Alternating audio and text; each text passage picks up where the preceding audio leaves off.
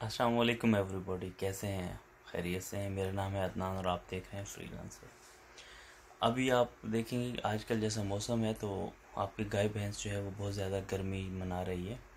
اگر آپ کے جانور گرمی فیل کر رہے ہیں تو آپ کو کافی سارے نقصانات ہوں گے، جس میں ایک نقصان تو آپ کو ہو سکتا ہے کہ وہ دودھ کی پروڈکشن کم کر دے۔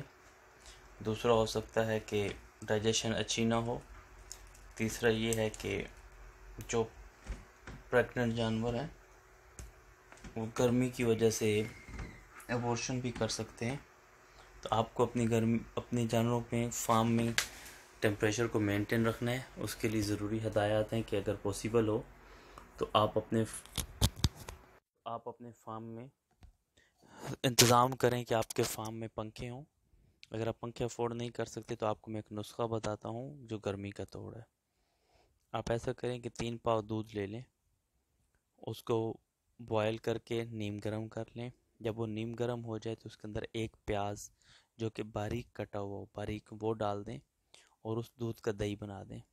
جب دہی جم جائے گا، دوسرے دن صبح اس دہی کے اندر آپ ایک پاؤ شکر ڈال دیں اور ایک پاؤ سرسوں کا تیل، مسٹرڈ آئل ڈال دیں۔ اس کے بعد مدھانی چلا کر اس کی دوبارہ لسی بنا لیں۔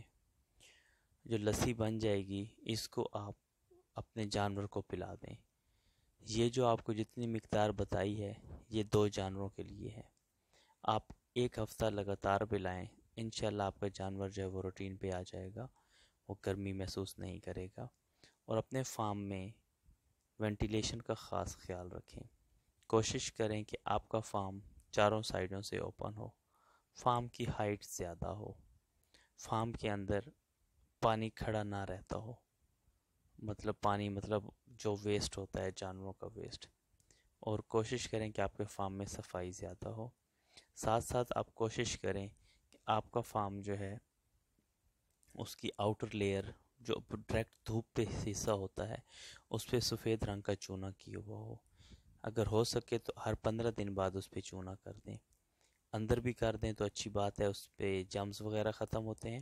لیکن اگر آپ باہر آؤٹر لیئر پہ چونا کر دیں گے تو گرمی کی شدت کم ہو جائے گی، کیونکہ وائٹ کلر جو ہے وہ گرمی کو ریفلیکٹ کرتا ہے، باہر بھیجتا ہے۔ آپ سورج کی شوائیں آئیں گی وائٹ کلر سے ٹکرا کے واپس ہو جائیں گی۔ اور شیڈ کی چھت پہ اگر آپ چونا نہیں کرتے تو چونے کو جسٹ پھیلا دیں۔ وائٹ لیئر دے ڈال دیں آدھے آدھے انچ کی، تو آپ کے فارم میں دیکھیں گے گرمی کی شدت کم ہو جائے گی۔ آپ اپنے جانوروں کو ان دنوں فریش واٹر کافی مقدار میں اویلیبل کرائیں۔ اس کے ساتھ ساتھ میرے چینل کو لائک کریں سبسکرائب کریں بیل کا بٹن پریس کریں کمنٹس کریں اور اپنے دوستوں کو میری ویڈیو فارورڈ کریں۔ جزاکم اللہ خیر۔ اللہ حافظ۔